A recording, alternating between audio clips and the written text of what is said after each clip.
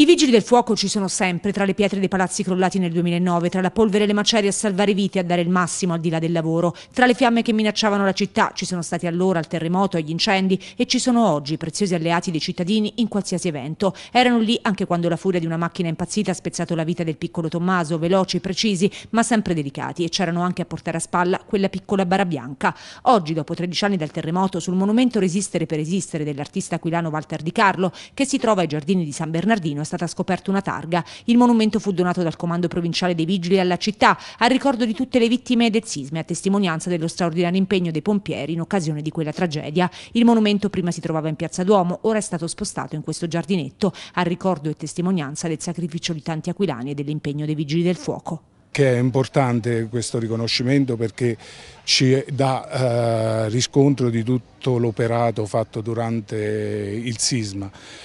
e quindi ci teniamo in particolar modo perché eh, per il legame che ci lega eh, alla cittadinanza dell'Aquila e alle istituzioni che questo, questo, rapporto che si è eh, instaurato durante il sisma e che seguita a, a darci soddisfazione sia a noi che, che anche a, alla cittadinanza. Quindi grazie per, questa, per questo ulteriore riconoscimento e per quest'area dedicata che era importante eh, averla eh, per, quel, per, tutti i vigili del fuoco d'Italia che hanno operato in questa, in questa zona.